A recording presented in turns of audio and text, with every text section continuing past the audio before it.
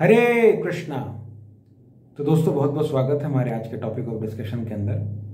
तो आज हम दोस्तों जो टॉपिक डिस्कस करने वाले हैं, उस टॉपिक का नाम है that how to maintain faith in extreme difficult situation because कई बार ऐसा होता है दोस्तों कि लाइफ में जब सब कुछ सही चल रहा होता है तो भगवान पर विश्वास करना या किसी भी अपने आप के ऊपर विश्वास करना है किसी भी काम के अंदर विश्वास करना बहुत आसान होता है। बट जैसे हम देखते हैं कि लाइफ में जब टफ सिचुएशन आते हैं या एक्सट्रीम डिफ़िकल्ट सिचुएशन जब आती हैं तो वो विश्वास जो है हमारा, जो भगवान के ऊपर है, वो विश्वास जो हमारा खुद के ऊपर है, या हमने जिस काम को शुरू किया था उस काम के ऊपर जो हमारा विश्वास स्टार्टिंग में रहता है वो धीरे धीरे खत्म हो जाता है दोस्तों। हमें लगने लगता है कि इसका क्या फ़ायदा, इसका क्या ज़रूरत। सो टफ सिचुएशन के अंदर भी अपने ऊपर हम कैसे विश्वास बनाकर रख सकते हैं, भगवान के ऊपर कैसे विश्वास बनाकर रख सकते हैं, अपने फेथ को कैसे स्ट्रांग कर सकते हैं, आज के हम इस टॉपिक के अंदर डिस्कस करने वाले हैं। सो so, इस टॉपिक को शुरू करने से पहले दोस्तों मैं एक छोटा सा स्टोरी सुनाना चाहूँगा। मुझे लगता है कि आप सब लोग ज़रूर शिला प्रभुपाद जी को जानते होंगे।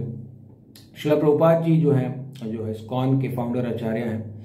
स्कॉन मतलब International Society for Krishna Consciousness और शिला प्रभुपाद जी ने इस संस्था की जो है स्थापना की थी। तो प्रभुपाद जी के जीवन से हम काफ़ी कुछ सीख सकते हैं। तो एक छोटा सा स्टोरी है पास टाइम मैं I like to start this topic from the pastime of Srila Prabhupada Prabhupada जी को आदेश मिला था अपने गुरु महाराज से कि आप जो है पूरे विश्व के अंदर जो है श्रीमद भगवद गीता और श्रीमद भागवतम का प्रचार प्रसार करिए और इसके लिए प्रभुपाद जी ने जो भगवद गीता और कई वैदिक लिटरेचर्स को प्रभुपाद जी ट्रांसलेट करते थे और स्टार्टिंग में जब वो यूएसए नहीं गए थे तो दिल्ली के अंदर घूम घूम के single handed single handed Prabhupada ji जो है पूरा जो उसको ट्रांसलेट करते थे उसको जाके प्रिंट करवाते थे और उसको ले जाके जो Prabhupada ji one two one सबको डिस्ट्रीब्यूट भी करते थे तो एक बार की बात है दोस्तों कि बहुत जो है, धूप का समय था, कड़ी धूप का समय था और प्रभुपाद जी जो है ग्रंथों का वितरण कर रहे थे। तभी जो है गाय आके जो है जो है प्रभुपाद जी को जो है धक्का मार देती है, जिसकी वजह से प्रभुपाद जो है जो है नीचे गिर जाते हैं। तो Prabhupada was thinking at that time की वाई दिस इज़ हैपनिंग देखा जाए तो Prabhupada was doing such thing actually भगवान का काम कर रहे हैं, भगवान का प्रचार प्रसार कर रहे हैं। और प्रभुपाद के जीवन में हम देखते हैं कि इतना एक्सट्रीम टफ सिचुएशन के अंदर आने के बावजूद देख रहे हैं कि को जो है गाय धक्का मार दे रही है and was lying in the street so Prabhupada अपने बुक्स के परफेक्ट में बताते हैं कि एक डिवोटी के सिचुएशन में डिवोटी के लाइफ के सिचुएशन में भी ऐसी टफ सिचुएशन आ सकती हैं, जहाँ उसको कुछ समझ नहीं आ रहा क्या करना है, कैसे करना है, क्यों करना है। So devotee can be perplexed but he can not be discouraged तो परप्लेक्स होना और डिस्करेज होना दोनों में ज़मीन आसमान का अंतर दोस्तों। हो सकता है कि लाइफ में सडन कुछ जो है डिफिकल्टीज आ जाए, कुछ ऐसी सिचुएशन आ जाए जिसके ऊपर हमारा कोई कंट्रोल नहीं है और उसकी वजह से हम परप्लेक्सड हो जाए। परप्लेक्स का मतलब है दोस्तों कि हमारा इंटेंशन तो है कि हमें स्पिरिचुअलिटी करना है, हमारा इंटेंशन तो है कि हमें कोई काम को करना है, हमें अपनी पढ़ाई को करना है जॉब को करना है, या हमें अपने हमें अपने आप को एक बेटर पर्सन बनाना है, हमारा इंटेंशन है बट हमें समझ नहीं आ रहा है।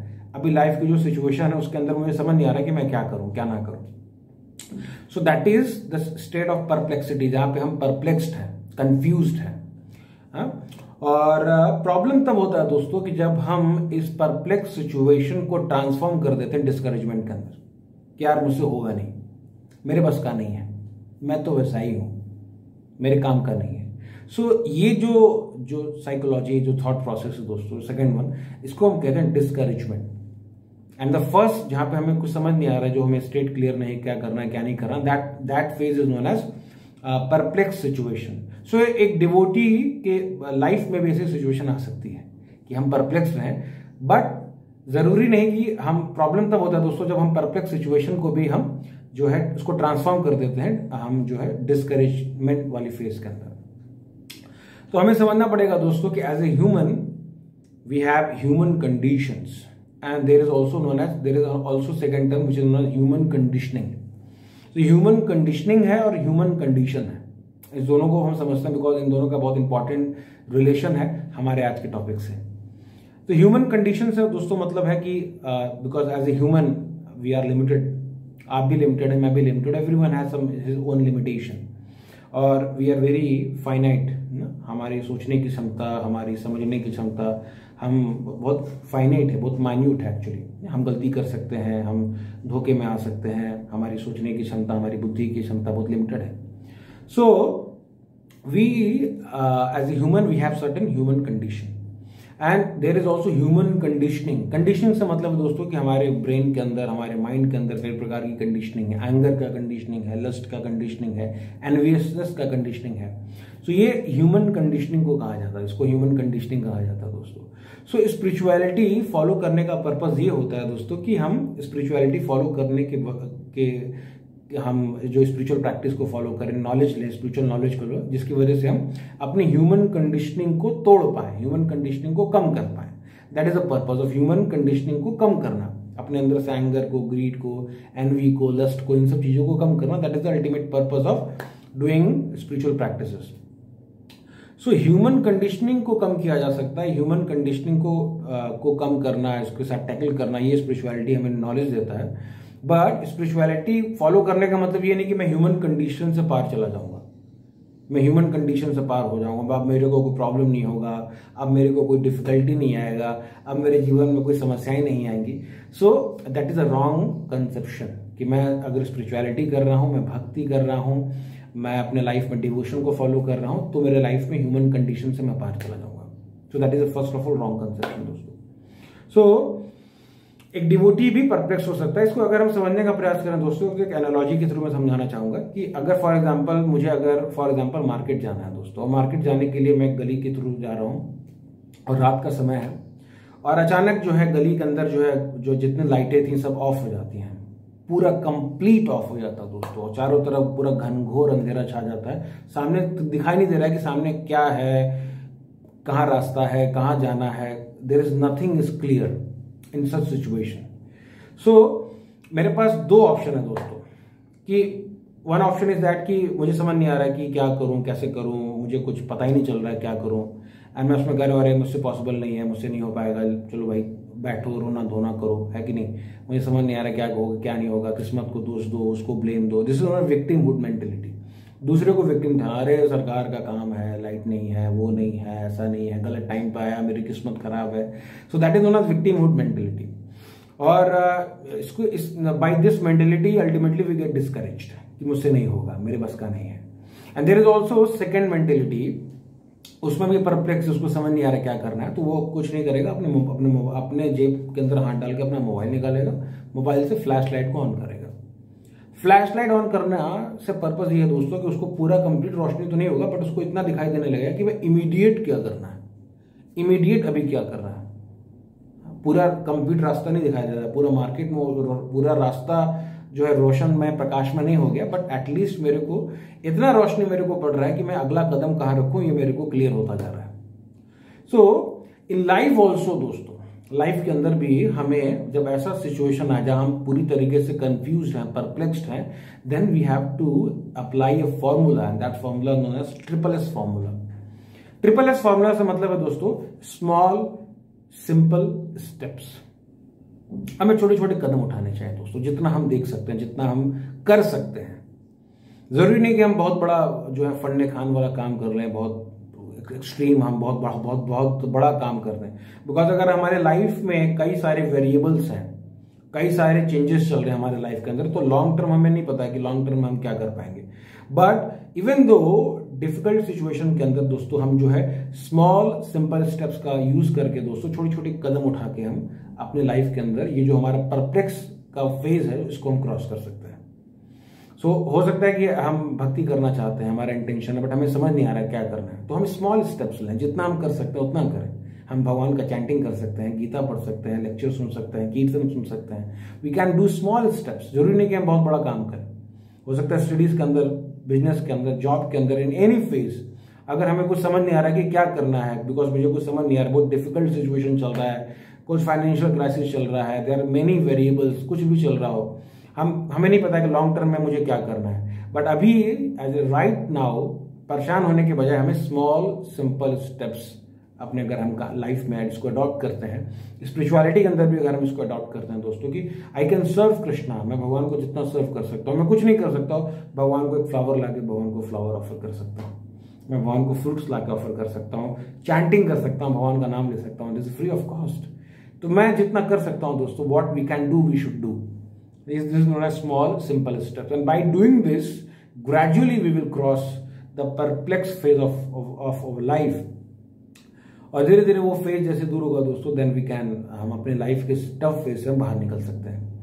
सो रादर देन हम जो है डिफ़िकल्ट सिचुएशन के अंदर हम आके डिस्करेज हो जाएँ और हम गिव अप कर दें क्विट कर दें उससे अच्छा है दोस्तों कि हम स्मॉल सिंपल स्टेप्स का यूज़ करें और अपने लाइफ में हम ग्रेजुअली एडवांस करें।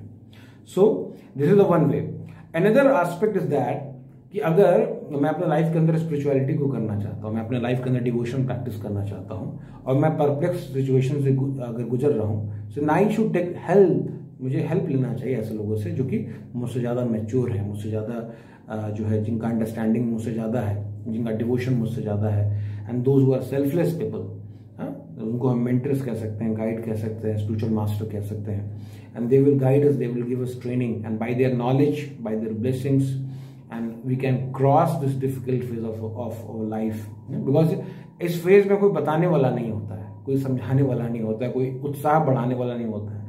सो so, अगर हमारे लाइफ के अंदर अगर कोई ऐसा व्यक्ति हमें मिल जाए जिसे मेंटर कहते हैं दोस्तों then we can gradually we can cross this extreme tough phase of of life तीसरा इसका एक नज़रिया है दोस्तों, तीसरा नज़रिया भी है। तीसरा नज़रिया ये है कि हम अपना प्रॉब्लम्स को देखने का नज़रिया बदल सकते हैं दोस्तों बिकॉज़ सारा खेल नज़रों का है, वरना वरना प्रॉब्लम्स में दोस्तों कुछ रखा नहीं। प्रॉब्लम्स को देखने को हम किस तरीके से लाइफ को देख रहे हैं, ये भी काफ़ी मैटर करता है दोस्तों। अगर मैं रंगीन चश्मा लगा के बैठता हूँ, हरा चश्मा लगा के बैठता हूँ तो मुझे सामने वाली दुनिया हरी दिखेगी। अगर मैं लाल चश्मा लगाता हूँ तो मुझे सारी पूरी दुनिया लाल दिखती है।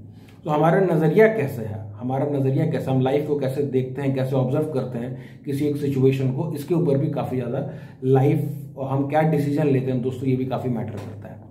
So rather than seeing the problem एक प्रॉब्लम को प्रॉब्लम की तरह देखने के बजाय अगर हम उस उस प्रॉब्लम को एज ए अपॉर्चुनिटी के तरीके से देखें एक मौके के रूप में देखें, एक अवसर के रूप में देखें कि अब मेरे पास एक मौका है अपने आप को इम्प्रूव करने का, अपने आप को लर्न करने का, अपने आप का, अपना सेल्फ ग्रोथ करने का।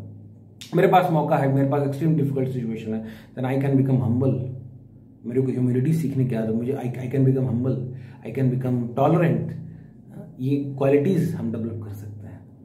So by changing the perception of problem problem को प्रॉब्लम ना देख के, उसको अपॉर्चुनिटी देखने का, उसमें कुछ ना कुछ सीखने का। और उस प्रॉब्लम में जो पेन हो रहा है, कोई कहेगा, अरे भाई साहब, ऐसा नज़रिया बदलने में दर्द होता है प्रॉब्लम में. सो या so we have to tolerate that pain उस पेन को टॉलरेट करते हुए अगर हम अपने आप को सेल्फ ग्रोथ करते जा रहे हैं सेल्फ एडवांस करते जा रहे हैं दोस्तों देन हमें पता चलता है कि उस प्रॉब्लम की वजह से हम अपने लाइफ में काफ़ी कुछ आगे बढ़ जाते हैं, काफ़ी कुछ अचीव कर लेते हैं।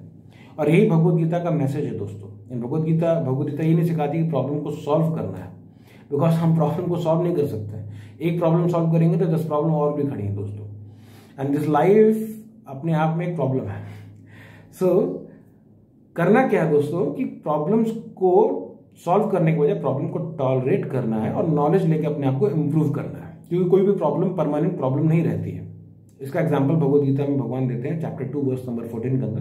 कि जैसे सीज़न है अभी जैसे गर्मी का सीज़न चल रहा है बट गर्मी के खत्म होने के बाद दोस्तों फिर से ठंडी आती है, ठंडी के खत्म होने के बाद फिर से गर्मी आती है।